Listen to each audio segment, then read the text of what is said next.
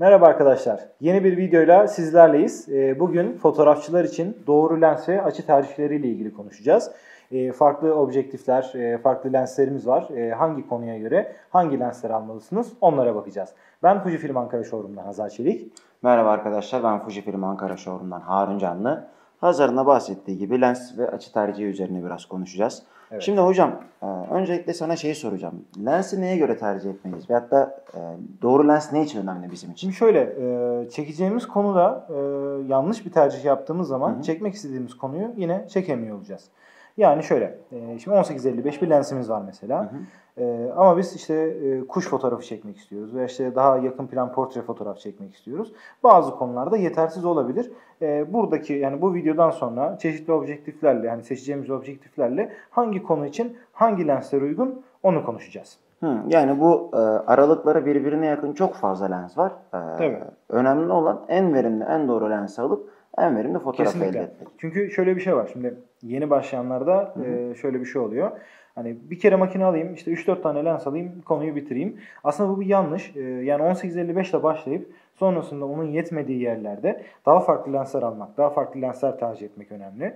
E, mesela 1855'in 18 mm'si bana yetmiyorsa ben geniş açı bir lens tercih edebilirim. Ya da 55 mm'si bana yetmiyorsa daha tele bir objektif e, tercih edebilirim. Hı, yani eğer ki bizim e, kullanacağımız açı hakkında hiçbir fikrimiz yoksa 18.55'te başlamak bizim için en Tabii kesinlikle. Çünkü 1855 aslında bir karar verme lensi. Zaten o yüzden hep kit lenslerde Hı hı. ya 1650 ya 1545 ya 1855 tarzında ne çok geniş açı ne çok tele. İkisinin arasında bir lens çıkar. çıkar. O bizim tercih etmemiz gereken e, veya hangi açıyı sevdiğimizi belirleyen bir objektif olarak karşımıza çıkıyor. Hı, yani en başlangıçta eğer hiçbir fikrimiz yoksa 18.55'e direkt başlıyoruz. Kesinlikle. Peki hocam şimdi geniş açı ve tele objektifler var. Evet. Ee, bunların avantajları, dezavantajları nedir? Hani neye göre tercih edebiliriz? şimdi geniş açı lensler ilk bakışta hani çok süper objektifler görünüyorlar. Mesela işte atıyorum 10-24. 10-24 lens. Ee, benim hani sürekli çantamda olan bir lens. Hı hı. Ama tabii kullanmasını bilmek gerekiyor. Şimdi 10 milimetreyi ben e, makineme düz bir şekilde değil de işte bir mimari fotoğraf çekiyorum Hı hı. mesela. Yamultursam distorsiyon dediğimiz işte kenar bozulmaları, yapısal eğiklikler ortaya çıkıyor. Hmm. Veya ben bu lensi çok yakından şu kadar getirdim sana böyle bir portre çektim. Ha, Şimdi bu- ne oluyor? Distorsiyon. Şimdi senin burnun oluyor iki katı, surat oluyor böyle geriye doğru gidiyor falan. Tabii balon gibi. Aynen. O yüzden hani çekeceğimiz konuya göre doğru kullanmamız gerekiyor lensi. E, ama işte biz lensimizi düz tuttuk. E, işte güzel bir yansıma var veya güzel bir mimari fotoğraf çekiyoruz. Hı hı. E, lensimizi 90 derece açıyla tuttuğumuz zaman kenar bükülmeleri veya yapısal bozukluklar çıkmadan düz bir şekilde çok güzel fotoğraf çekebiliriz. Yani avantajı çok fazla geniş açı alması, her yeri görebilmemiz. Dezavantajı da yanlış tuttuğumuz zaman kenarlardaki eğiklik olması. Aynen öyle. O zaten böyle şey özellikle cami çekimlerinde falan çok dikkat Tabii çekiyor. tabii. Mimar, mim- arkaya doğru gider minareler böyle. böyle Aynen. yengeç kıskacı gibi kapanıyor. Aynen. Ee, peki abi tele'de nedir durum? TR'de de şöyle mesela onda da 50-140'tan örnek verelim. Hı hı. Ee, yani dezavantajı çok olan lensler değil, hep avantajı olan lensler tele lensler. Aynen. Ki genellikle portre fotoğraf çekerken hani 35, 50 ve üstünü kullanırlar ki Hı hı. e, insan gözüne daha yakın olsun. Dezavantaj olarak daha ışık koşulunun düşük olduğu yerlerde, tele objektiflerde mesela işte ben 200 mm'lik bir lensle çekim yaparken enstantane değerimi doğru kullanmalıyım. Çünkü baktığı açı çok dar. Ee, tabii şimdi ben bunu mesela 200 mm'de gördüğüm açı 18'de her yeri ben görebiliyorum. Ama Aynen bunu öyle. 200 yaptığım zaman işte 10 derecelik neredeyse bir görüş açısına sahip olacak e, Hmm. ortalama. Ee, bir gördüğüm yeri tekrar görmem daha zor oluyor. O yüzden çok stabil tutmam lazım makineyi. Bir de- Enstantane düşükse de titriyor. İyice sorun alıyor Aynen. artık. Ve şey de var mesela işte e, dediğin gibi Kocatepe Camisi mesela çekecek olsak 10-24'te tamam 10 milimde sığdırıyoruz ama Evet. e, hatta 10-24'ün 24'üyle bile sığdırmakta Tabii. zorlanıyoruz. Orayı 50-140'da hiç çekemeyiz. Tabii o zaman olarak. gitti aynen. Yani mimari fotoğraflarda anca işte mekanizm veriyorsa daha geriye gideceğiz. Oradan uzaktan çekeceğiz. 50 milime de bayağı. Bayağı bir gitmek gerekecek. Aynen öyle. Bir de şöyle bir şey var e, telelerde. E, mesela işte dolunay olduğu zamanlarda mesela bir yapı, yapının arkasında da bir dolunay. işte fotoğraf çekeceğiz. Biz onu geniş açıyla çekemiyoruz. Niye? Çünkü geniş açı her yeri geniş bir şekilde alıyor. Yani uzağa daha da uzak gösteriyor. Hmm. Ama biz daha uzak bir yere gidip tele kullandığımız zaman oran orantı birbirine daha yakın olacak. Mesela o dolunay fotoğrafını net alacağız. Hmm. Ön plandaki yapı da aynı oranda büyük çıkacak. Daha iyi bir fotoğraf çekeceğiz. Yani şimdi e, 10-24'te mesela atıyorum bir büyük bir mimari yapıyı çektik. Arkada dolunay var. Hani şimdi O dolunay böyle bir e, teşbihte hata olmasın ateş böceği gibi bir şey çıkacak. Aynen öyle küçücük bir nokta gibi çıkacak. Ama mesela 50-140'da aynı şeyi çektiğimiz zaman hani tamam biraz daha geriden çekeceğiz ama Geriden o gideceğiz. dolunayın ihtişamını arka tarafta tamamen yani göstereceğiz. o büyüklüğünü rahat bir şekilde gösterebiliriz. Biz de maşallah bütün lensleri dizmişiz buraya. Ne ihtiyacımız olsa hemen tık tık el altında. Peki abi şimdi ufak ufak başlayalım. Zannediyorum bu e, fotoğraf konularıyla alakalı lens seçimleri var. Tabii çünkü Yani- bir sürü farklı alan var Aynen fotoğrafta. öyle.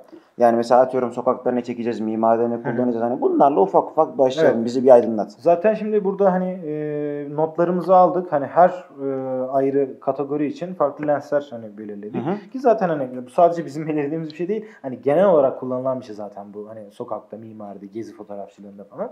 Mesela sokak fotoğrafçılığından başlayalım. Aynen öyle. Mesela sokakta ne kullanalım abi? Şimdi sokak fotoğrafçılığında e, hani hıza ihtiyacımız varsa biraz belki zoom lensler kullanabiliriz ama yakın aralıklar mesela 10-24, işte 18-55, 16-55 gibi yakın aralıklar kullanabiliriz. Bir de e, daha kaliteli ve insan gözüne daha yakın olsun diye sabit prime objektifler, standart objektifler kullanabiliriz. Hmm. Yani işte 35 mm, 23 mm gibi açılar sokak için ideal açılardır. Peki hani niye sokak için ideal diyorum?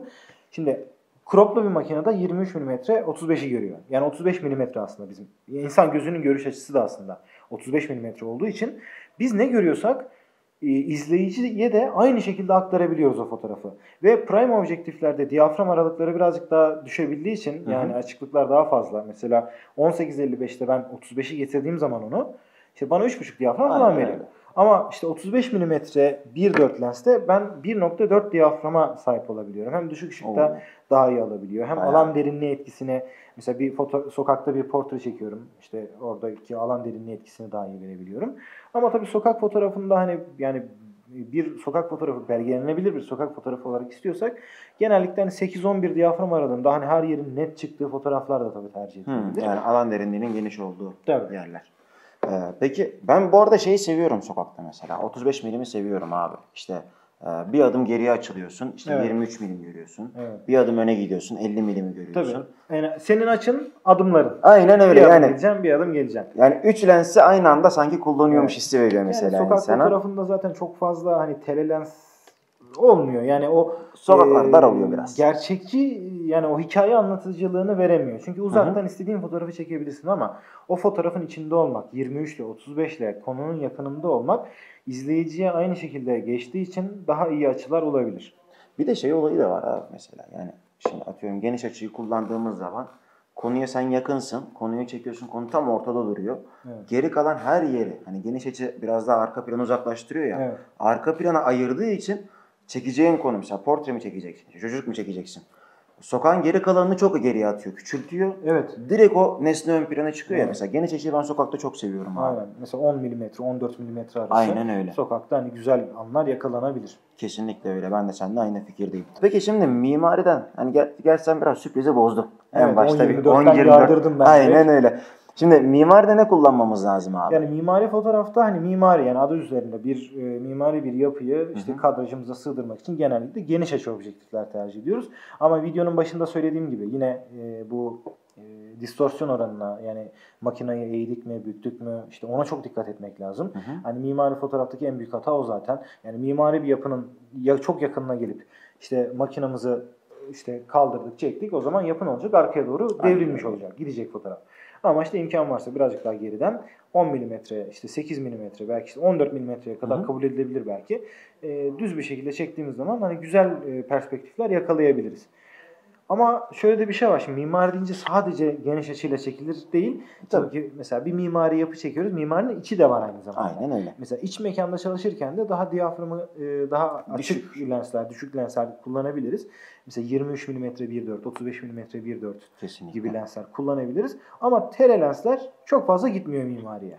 O belki şey olabilir. Hani belgesel mimari hani böyle Hani gibi. çizimler falan vardır. Aynen hani falan. uzaktan belki hani iyice hani zoomlama ihtiyacımızın Aynen olduğu yerde devreye girebilir. Ama hani mimaride genellikle hani geniş açı ya da işte ya şöyle değil mi 23-35 milimetreye kadar Kesinlikle. kullanılabilecek aralıklar diyebiliriz. Ben bu arada şeyi de çok seviyorum abi. Mesela e, camilerde o çok fazla vardır. Böyle iç tasarım, Hı, iç mimari aynen. falan. Ve oval falan oluyor. Evet. O distorsiyon şeyle etkisiyle var ya bir, bir ihtişam veriyor böyle bir. Mesela bazı Keyifli zamanlarda da dediğin gibi distorsiyon hani aslında bir hata ama Aynen. bazı noktalarda hani fotoğrafı biraz e, sıra dışı hale getirmek için işe yarayabiliyor. Kesinlikle. Mesela işte Fujino'nun 8-16 lensi. Şimdi 8 mm aşırı geniş açı bir lens. Yani neredeyse 180 derece görüş açısı var Aynen öyle. Şimdi 8 mm'yi bir caminin içerisinde böyle ihtişamlı bir yapıda şu şekilde büktüğümüz zaman hani her yeri komple alıyor. İnanılmaz bir e, görüntü çıkıyor ortaya. Bir de o oval hatlara falan bir büyük ihtişamlı falan geçiyor. Evet Çok kesinlikle. Bu arada şeyi belirtmek istiyorum. 8-16 genelde e, özellikle crop'da 8-16 şey olarak düşünülüyor. Hani balık gözü Balık acaba? gözü. Evet. E, ama bu ultra geniş açı statüsüne geçiyor. Yani e, Tabii, çok bükme öyle bir- yok. Aynen çok Yani aşırı bir bükmesi yok. 8-16'ya alıp siz özellikle böyle hani sağa ya da sola eğmediğiniz sürece e, geniş açı ve düz bir şekilde fotoğrafı alabileceksiniz. E, peki şey diyeceğim. Şimdi e, mimari bahsettik. Hı hı. Şimdi sokakta bahsettik. İkisini de biraz biraz kapsayan bir gezi fotoğrafçılığı Gezi dediğimiz fotoğrafı. bir alan var. Evet. Şimdi gezi fotoğrafında hani e, mesela bir yere tatile gidiyoruz veya işte fotoğraflama amaçlı bir yere Hı hı. gidiyoruz. Şimdi burada yanımıza çok fazla lens tüketmek yerine e, aralıkları geniş lensler kullanabiliriz. Mesela işte 18-55 bir tercih.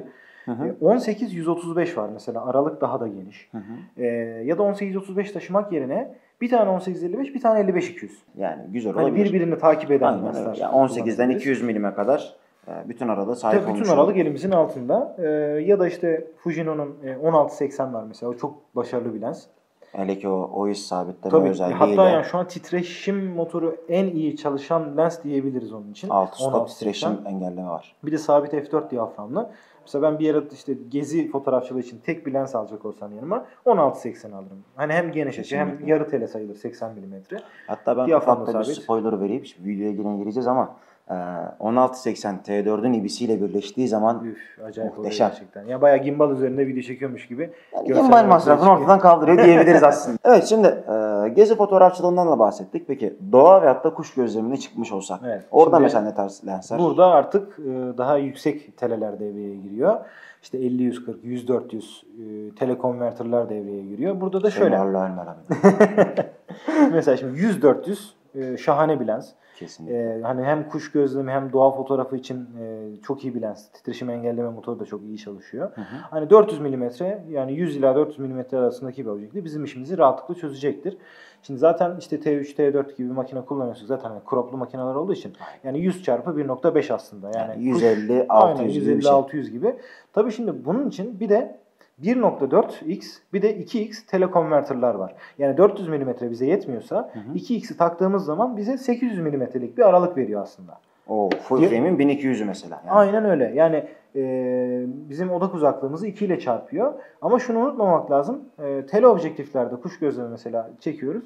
Telekonverter taktığımız zaman kaç x ise e, milimetreyi çarpıyor ama aynı oranda diyaframı da çarpıyor. Hı, yani mesela işte 50 140 2.8 diyoruz. 2x 4 taktığımız 5.6 zaman 5.6 Yani aynı 5.6 bir diyaframımız oluyor. O yüzden ona dikkat etmek lazım. Hı hı. Hani 2x'i aldım ben işte 800 mm f4'te çekeceğim. O yok yani. Aynen öyle. Öyle bir dünya yok. Ee, peki şey de güzel oluyor mesela işte e, uzak mesafede işte kuş geliyor oraya konuyor doğal davranıyor sen zaten uzaksın. Aynen zaten 400 mm'de biz pusuyu kurmuşuz orada. Aynen. Bekliyoruz seri çekimde tak tak tak çekiyoruz. Onların bir de özel kamuflajlar falan da oluyor. Çok Tabii kuşu ürkütmemek lazım. Aynen öyle.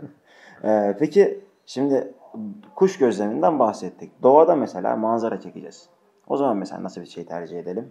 Yani doğada hani şimdi doğada manzara çekmek için aslında hazırlıklı olmamız lazım. Hı hı. Yani bir 100-400 belki bir de doğadaki yansımalar, şelaleler hani o tarz çekimler için mesela bir tane de 10-24 hani doğa ve kuş ikisini bir arada bağlayacak olursak bir 10-24 bir de 100-400 yanımızda olsa rahatlıkla bizi kurtarır. Her türlü ihtiyacımızı Hatta şöyle orada. 10-24'ün önüne bir tane de ND filtre takıp e, işte o şelalelerin falan uzun pozlamalarını alıp e, muhteşem olur fotoğraflar. Aa keyfe geldim. Bir çekime Evet, gidelim ya evet. doğaya. Peki Evet. e, bir de şimdi yemek fotoğrafçılığı diye bir kategorimiz var. Yani yemek fotoğrafçılığıyla still life ikisinden bir bahsedelim istersen. Ee, şimdi şöyle yemek fotoğrafçılığı aslında ikiye ayrılıyor. Bir düz menünün çekildiği hani ürün fotoğrafı e, mantığında. Bir de bunun e, stilize edildiği yani e, styling dediğimiz e, alanın girdiği bir. Eğer ki yemeği normal menü olarak çekeceksek yani normal e, olması gerektiğini göstereceksek ürün çekimi mantığında Bu sefer makro lens mesela atıyorum 80 Hı hı. veyahut da 60. Evet. Hani bunları e, yüksek diyaframlarla böyle keskin her tarafın net Her gözüktüğü. yerine. Hani tabağın Aynen. bir köşesi netken diğeri full olmasın diye. Aynen öyle. Daha her tarafı 8-11 diyafram civarında. her tarafı net gösterebildiğimiz bir lens tercihi yapabiliriz. Bir de still life kısmı var burada. Ee, still life'da hani biraz daha stilize edildiği için biz bunu ışıkta ve fotoğrafta da mesela işte atıyorum e, 16 55 28 mesela veyahut da 56 1 2. Evet. Hani asıl konunun olduğu yeri net, geri kalan taraflara alan Biraz derinliği alan dışında e, böyle güzel flu çıkartır. Bir de şöyle bir şey duymuştum. Şimdi focus stacking diye bir olay var. Hı hı. Ee, yani yine x8'i kullanmak istiyorsun. x8'de hani o ışığı kullanmak istiyorsun. 2.8 çektim. Farklı netlik bölgelerinde mesela ben yakını netledim. Yavaş yavaş uzağı netleyerek işte atıyorum 30 tane fotoğraf çektim. Sonra hepsini birleştirdiğim zaman diyafram 2.8 ama e, sanki 11 diyaframda çekmişim gibi e, net fotoğraflar elde edebiliyorum. Bu da bir Tabii. teknik olarak kullanılabiliyor. Aslında o şey e, hem düşük ışıkta verim alabiliyoruz. Evet. e, Her tarafın net olduğu. Hem de 11 diyafram da desek hani her ne kadar da olsa kenarlarda böyle bir e, yani uzak kenarlarda hani uzak köşelerde Bu bir ufak flular belki aynen ol- olabiliyor. Ama 2.8'de onu yapıp da hani e, focus stacking ile birleştirdiğimiz zaman %100 net. kesinlikle yani tam köşeden köşeye net fotoğraf elde edebiliyoruz. Fotoğrafın her ayrı karesini ayrı ayrı netlediğimiz için Hı hı. net olmayan bir yer bulmak zaten imkansız. Aynen öyle. Evet, e, şimdi o zaman sen bana yemek fotoğrafçılığını sordun. Ben de sana portreyi sorayım. Hadi bakalım. Sevdiğim bir alan portre. Aynen. Şimdi portrede nasıl yapacağız? Şimdi portre için e, genellikle 35 mm ve üzerinde hani objektifler e, daha hani güzel görünebiliyor. E, mesela 35 1.4, 35 f2. E, yani 56 bir. 56 1.2. E, mesafemiz yani odak uzaklığımız ne kadar yüksek olursa o kadar ön planı arka plandan hem ayırmaya başlıyoruz. E, hem odak uzaklığı yüksek hem diyaframımız küçükse tadından yenmez. Şahane Aman portreler çıkar. Şimdi burada şey önemli. Biz portre çekerken portreyi nereden itibaren alıyoruz? Mesela sadece e, işte yüzü aldığımız bir portre çekiyorsak burada hani 35 mm kullanabiliriz. 23 mm kullanabiliriz. Bunlar arka planı ayıracaktır. Ama biz 35 mm f2 diyafram kullanıyoruz. Hı hı. Örnek veriyorum. Aynen. Yakın plandan çektiğimiz portrede arka planı yok edebiliyoruz alan derinliği Alan etkisiyle. derinliği düşüyor. Ama hem biz mesafemizi yükseltip hem model bizden uzaklaşırsa bu sefer artık f2 diyafram bize yetmez. Hmm. Diyaframın daha küçük olması lazım ya da biz e, atıyorum işte bel hizasından arka planı Aynen. tamamen yok etmek istiyorsak artık hem diyafram düşük hem de odak mesafemizin de yani 35 mm değil de 50 mm, 56 mm civarında yükselmesi gerekiyor. Mesela komple ayaktan kafaya kadar net Yani komple boydan bir portre. Arkayı komple uçuracağım. Hı Ee, işte o zaman işte 90 mm f2, Hı hı. 200 mm f2 gibi lensler belki hani işe yarayabilir. Veya işte 56 mm 1.2 gibi lensler işe yarayabilir. E, burada hani çekeceğimiz kişiyi nerede itibaren alacağız? Yani portreyi biz işte çevresel portre mi alıyoruz? İşte komple boydan bir portre fotoğraf mı alacağız? Hmm. Yoksa yakın bir e, portre mi alacağız? O önemli. Geniş açılarla portre çok etkili olmuyor. E, belki hani çocuk fotoğraflarında e, Aynen. böyle daha karikatürize etmek için yakından çekilebilir. Ama estetik bir portre istiyorsak minimum 35 mm ve üstü ve diyaframında olabildiğince açık diyaframlar 1.4, 1.2, f2 civarında diyaframlar olması lazım. E, kafa hizasından çektiğim zaman 35 ile 50 aralığı veya daha üstü işimi görür. Görür. Ama e, bel hizasına geldiğim zaman bu sefer 50 ve üstü diyoruz. Tabii. E, boydan 35 artık dediğimiz iş görmez. Aynen. E, mesela boydan çekeceğim dediğim zaman da bu sefer 56'nın da üstü Tabii mesela 90, 80, 100, 90. Aynen o civarlar E, işimizi görür. o ve üstü yine diyoruz tabii, değil mi? Tabii. Bu konuda o zaman 50 şey 50-140 mesela benim favori lenslerimden birisi. Mesela portre çekerken 50-140 benim çok işime yarıyor. Ya da 90 mm f2. Mesela. Fuji'nin gizli hazinesi. Gerçekten. Ya bence e, Fuji'nin en keskin objektifi diyebilirim. Hani bütün lensleri denedim. Bence en keskin lenslerden birisi yani. O 90 mm 90. f2 portre için. Bir de netliği de çok hızlı. Netliği de çok hızlı. Ben onu Ee, videoda da çok bir seviyorum ama. Evet çok çok iyi bir lens o. Yani e, özellikle kişi çekimlerinde e, portre tarzı böyle bir e, yakın Bir çekim de videolarda e, bir tane daha üst segment bir lens var Fuji'de. 200 mm f2. E, ama bütün sırrı bozdun ya. ben yani ben onu sana özellikle soracaktım. bir gün denedim o lensi. Hı hı. Yani ben inanamadım. Yani bu kadar hızlı netlik, bu kadar hani portre çekiminde çünkü odak mesafesi 200 mm Aynen. odak uzaklığı. E bir de diyafram f2. Yani ön planı arkadan tamamen koparıyor. Çok çok güzel lens. Yani 200 milimlerde genelde yüksek odaklarda mesela genelde keskinliği biraz daha tripodla falan sağlamaya Tabii. çalışıyoruz ama hani lens büyük bir lens. Ama bir lens. 200 milimde Ama çok hızlı. Elde yani tık tık çekebiliyorsun. Evet, gerçekten iyi bir lens yani. Yani e, yapmışlar Fuji baba yapmış. kesinlikle. E, peki şimdi e, moda fotoğrafçılığına girmeyeceğim. O zaten portreyle Zaten aynı. portreyle benziyor. Yani moda fotoğrafçılığına girsek çıkamayız zaten. Yani Aynen. kendine ait ayrı bir dünya zaten. Ona Bu, styling falan giriyor Tabii, falan inanılmaz böyle. ayrı bir dünya Dekoru, yani. çevre çekimi falan. ama hani portrede portreyle hemen hemen benzer Aynen öyle. e, konularda. Belki bir çevresel portreyi de işin içine Aynen e, hani katmak etrafta lazım. kullanacağımız malzemeler belki hani değişebilir. Aynen konuda. öyle. Ee, sana asıl şeyi soracağım. Şimdi ben makineyi aldım. Evet. Ee, dedim ki yani ben bir fotoğraf makinesi alayım.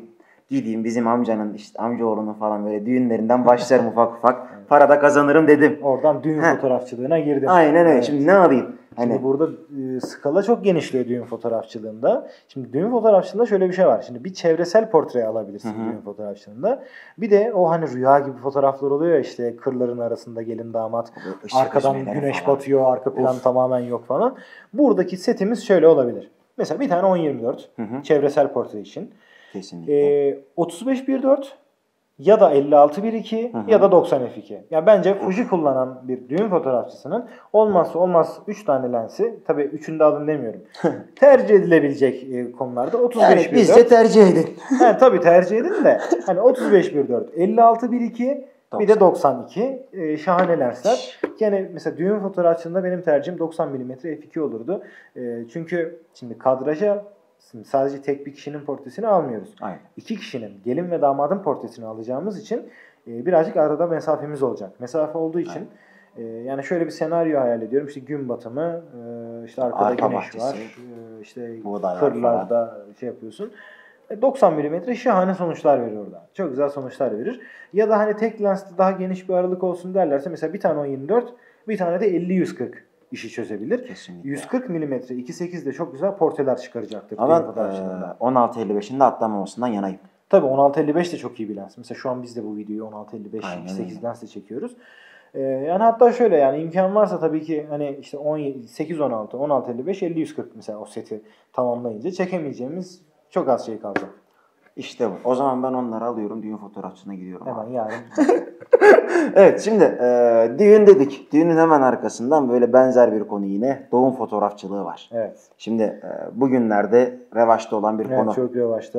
Ee, özellikle hani çok başarılı kadın fotoğrafçılar var bu alanla ilgili. Aynen öyle. Ee, şimdi doğum fotoğrafçılığında olay birazcık hız aslında. Yani çünkü e, o anda çektin çektin. Ee, şimdi burada birazcık dar bir alan olduğu için hani ameliyathanede çekim oluyor. Aynen. İşte 23 mm, 35 mm ve diyaframı olabildiğince e, düşük lensler. Yani işte 35 1.4, 23 1.4 belki daha geniş açı olacaksa 16 16, 1.4 e, tam tercih edilir. Yani doğum fotoğrafçıları için e, Fujifilm'in e, 1.4'lü serisi işte Hı hı. 16 1.4, 23 1.4 ve 35 1.4 serisi çok güzel e, olacaktır. E, peki abi şimdi e, düğün dedik. Portre dedik. Evet, hepsine girdik. Doğum dedik. Şimdi sıra acaba neye geliyor? Evet, stüdyoya mı yoksa? Yazmışız. Aynen, aynen öyle. Evet stüdyoda ne yapalım abi? Şimdi Stüdyoda stüdyoda, ya stüdyoda yapalım? çekerken burada hani diyaframın küçük olması hani işte 1.4'ler 2'ler onlar Hı hı. çok biraz önemini yitiriyor. Çünkü işte kullandığımız ışıklar işte 400 watt 600 wattlık e, ışıklar kullanıyoruz. İşte Arka bir de sonsuz. sonsuz fonlar kullanıyoruz. Orada e, lensin optik kalitesi birazcık daha Hı hı. önemli. Hani niye diyafram önemini yitiriyor? Çünkü biz işte o ışığı alabilmek için işte 8 diyafram 11 diyafram civarına getiriyoruz. E, bu yüzden hani yüksek diyafram birazcık da lensin optik kalitesi. Mesela 16-55 2.8. O lens çok iyi bir lens. Çok keskin bir lens. E, veya prime objektifler kullanabiliriz. İşte 80, 80 90. mm, 90 mm. Ama burada çektiğimiz stüdyonun boyutu da önemli. Şimdi e, stüdyomuzun boyu çok e, metrekaresi çok yüksek değilse Küçük hani, bir alansa- aynen küçük bir alansa 80 90 dar gelecek. Aynen öyle. E, o yüzden hani e, işte 23, 35, 50 gibi açılar kullanabiliriz. Hı hı. E, ama hani bize yeterli olacak şey yani genel olarak mesela biz ikimiz hani stüdyoda Aynen. fotoğraf çekiyoruz. İşte 1855, 1655 ya da 1680 bizim işimizi Benim kurtarıyor e, yani. favorim bir 16.55'tir. Evet o çok keskin bir lens. Aynen öyle. Bir de e, yakın çekim yapacaksam, yakın portre yapacaksam veya ürün çekim yapacaksam e, 80 milim kesinlikle Evet 80 de çok başarılı hem makrosu hem şeyi e, Aynen. Hani şimdi hem ürün fotoğrafıyla makroyu da bağlayalım. Mesela yakın Aynen. plan ürün fotoğrafı çekeceğiz. İşte Hı hı. o zaman 80 mm mesela çok iyi. E, 80 mm de şöyle. Bunun bir önceki nesli 60 mm'ydi. Hı hı. E, şimdi 60 mm'ye göre Şimdi 60 mm 2.4 diyaframdı. 1'e Aynen. 2 makroydu. Bu 80 mm 2.8 1'e 1 makro. Şimdi Aynen. 1'e 1 olunca büyütme oranı birazcık daha fazla oluyor. Daha Hı hı. yakın plana girme şansımız oluyor. Ee, hani hem yemek fotoğrafında da bahsetmiştik zaten Aynen. 80'den. Ee, bayağı başarılı bir lens. Tabii bu hani 80'den bahsederken şunu da belirtmek istiyorum. Bu 50-140 ve 100-400 objektiflere takılabilen 2x ve 1.4x telekonverter bu lense de takılabiliyor. Yani 80 Yani, mm'ye 2x taktık. Efsane. 160 mm işte f4, f5 civarında bir Hı hı. makro lensimiz olmuş oluyor. Hakikaten müthiş. Şahane yani. bir açı olur bizim için. Yani hem dışarıda hem içeride e, cidden çok verimli olur. Kesinlikle. Şimdi e, ürün fotoğrafçılığından bahsetmişken ben ufak bir makrodan bahsedeyim. Ondan sonra diğer konulara Hı hı. doğru devam edelim. E, makroda 80 milim kullandığımızda, focus stacking yaptığımızda, mesela 2.8 e, diyaframlı focus stacking, e, focus stacking yaptığımız zaman çok verimli hakikaten e, Tabii çünkü fotoğraflar. 2.8 çekmeye devam ediyorsun. 2.8'deyken işte 2.8'de farklı Hı hı. yerlere netlik yaparken işte arkaya doğru netlik yaptık. 2.8'den işte 30 tane fotoğraf çektik. Sonra Hı hı. hepsini birleştirdik. Köşeden köşeye tamamen net bir fotoğraf elde edebiliyoruz. Çok ve- ya- yemekte de zaten konuyla alakalı bahsetmiştik. E, 80'i o konuda ben çok seviyorum. Başarılı bir lens. Ee, peki şimdi abi e, hepsinden bahsettik. Biraz şöyle bir dışarıya çıkalım. Akşam saatlerine doğru gidelim. Evet. Mesela bir Bir astro. yıldız pozlayalım. Aynen. Evet. Ee, o zamanlar mesela ne yapacağız? Ne kullanacağız? Şimdi astro fotoğrafta burada şeyler ortaya çıkıyor. Geniş açı, diyaframı daha küçük e, açık lensler ortaya çıkıyor. Burada da işte yine Fuji'nin 16-2.8, 16-1.4, e, 14 mm 2.8 gibi lenslerini kullanabiliriz. Hatta kendi kit lensi olan 18-55 2.8 f4 olan 2.8'ini kullanabiliriz. Çünkü astro fotoğrafçılıkla genellikle geniş açı ve düşük diyaframlı lensler kullanılıyor. Hani onun sebebini de açıklayalım. E, şimdi geniş açıdaki o hani zaten geniş açı olabildiğince yeri alanı alıyoruz. ISO'muzu çok fazla aşmamak için e, işte Hı hı. mesela 16 mm 1.4 kullanıyoruz. İşte Aynen. ISO'yu 6400'de kullanacağımız yerde 800, 800 1600 1600 o civarlara Aynen. indirebiliyoruz. E, bir de pozlama süremiz de burada önemli. Şimdi astro fotoğraf çekerken işte Milky Way, işte yıldız pozlama yapıyoruz. E, Samanyolu fotoğrafı çekiyoruz. Burada yıldızları çizgi gibi değil de olduğu gibi görebilmek için 20-25 saniye ideal süre. Aynen Şimdi biz öyle. 30 saniye açtığımızda ne oluyor? Ee, Çizikler oluşmaya başlıyor. Aynen. O yıldızın o dünyanın dönüyor etkisini fotoğrafta görüyoruz. Aynen. O yüzden hani hem düşük diyafram hem pozlama süremiz ideal olursa bunu rahat bir şekilde yakalayabiliyoruz. Onu da zaten yap- yapabildiğimiz lensler hani genelde geniş açı ve düşük diyaframlı. Aynen öyle. Mesela e, 16-1.4 veyahut da 14-2.8 veya 8-16 Mesela bak mesela 14-2.8 yine Fuji'nin gizli hazinelerinden birisi. Aynen. Çok keskin bir lenstir. Çok, a- ama ben hakikaten şöyle söyleyeyim 14-2.8'i hem netlik hızı olarak hem şey olarak çok beğeniyorum. Evet, çok, keskinlik e, olarak feci bir lens. Astro'da falan çok keyif veriyor insana. Bir de konser fotoğrafçılığından Hah, da hani ufak bir bahsedelim. aynen. Hani onda yine benzer açılar kullanılıyor ya. Hani mesela şimdi 16.80, Hı hı. 16.55, 2.8, e, 18.55 kullanılabilir. Hani konserde birazcık da diyaframı sabit lensler kullanmak Hı hı. daha iyi olur. Mesela 16.55, 2.8 kullanmamızın avantajı ne olur? Ee, Hem 55'te zoom hem yaptığımız 18'de. zaman ışık kırılmaz. Yani bir stop koyu çekmeyiz. 2.8'i her aralıkta kullanabiliyoruz. Kesinlikle. Çünkü konser sırasında bir yerlerden ışık sürekli değişken olduğu için bizim sadece enstantane ayarı yaparak hani diyaframımızı sabit bırakıp enstantane ayarı yaparak bizim fotoğraf çekmemizi sağlıyor. Ama 18-55 kullandığımızı varsayalım. Ee, 18'den zoomladığımız zaman diyafram 4'e 4, çıkıyor. olacak. E şimdi o da ışık derecesini bir stop eksik pozlayacak. Aynen öyle. Yani 16.80 ya da 16.55 bu iş için uygun olabilecektir. Ee, 16.80'in şeyden de bahsetmek istiyorum. OIS özelliği olduğu için altı stop dengeleyebildiği için hani enstantane konusunda da biraz daha düşebiliyoruz. Bu da e, konserde e, ISO'yu artırmadan Evet. Ee, 6400'lere çıkmadan aynen öyle. fotoğraf çekmemizi sağlıyor. O da çok verimli bir e, lens oluyor konserde veyahut da etkinliklerde. E, bu arada şeyden de bahsetmek istiyorum. Videoda mesela ne Ne? çekelim? Neler verimli olur bizim Video, için? video çekiminde e, biraz daha şu önemli. E, hani Netlik. keskinlik önemli ama netlik hızı daha önemli burada. Aynen öyle. Çünkü video çekerken işte aktüel video, elimizde video çekiyoruz. Burada e, makineyi çevirdiğimiz anda makinenin bunu algılayıp hızlı bir şekilde otofokus yapması lazım. Hı hı. Eski seri lenslerde belki birazcık yavaş kalabilir ama mesela Fuji'nin şu serisi çok iyi. Video çekenler özellikle sever. E, 16 2.8, 23 f2, 35 f2, 50 f2. Bu F2 serisi oldukça hızlı netlik yapabiliyorlar. Kesinlikle. Ee, ya da mesela e, düğün videografi e, olayında Aynen çalışanlar çalışanlar 16.1.4'ü çok seviyorlar video Çok müthiş bir lens hakikaten. Çünkü bunun e, yakından netlemesi inanılmaz. Yani neredeyse yani şu mesafeden e, parasoleyi gözüne değecek neredeyse. aynen. O mesafeden netlik yapabiliyor. Çok hızlı netlik yapıyor bu konuda. E, onları tercih edebilirler. Ya da yine diyaframı sabit işte F4 ya da F2.8 olan e, seriden tercih videoda. 16.55 Evet. veyahut Ama hani 16.80. bir, aynen ama video çekenler genellikle prime sabit odaklı objektif kullanmayı seviyorlar. Hani hem keskinlik hem Aynen işte öyle. e, netlik hızının yüksek olmasından dolayı.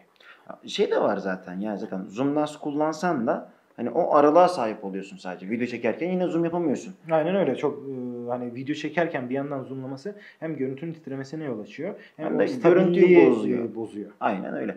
Ee, o yüzden hani daha böyle 16.1.4 mesela veya işte 23.1.4, Evet. 35 Yani o F2, Fujino'nun F2 serisi video Aynen. çekenleri üzmeyecek. 23 kesinlikle. F2 mesela. Bu arada şeyden de bahsetmek istiyorum. 90 F2 de çok verimli bir Evet o da hem keskinliği çok ön planda bir Hem de sabit hızı. prime olduğu için netlik hızı olduğu için oldukça Aynen. ideal bir lenstir. Ve e, odak uzaklığı da yüksek olduğu için ışık Alan derinlikli video. Aynen işte arkada güneş varsa onun Üf. yüzmelerini çok güzel alır. Kesinlikle.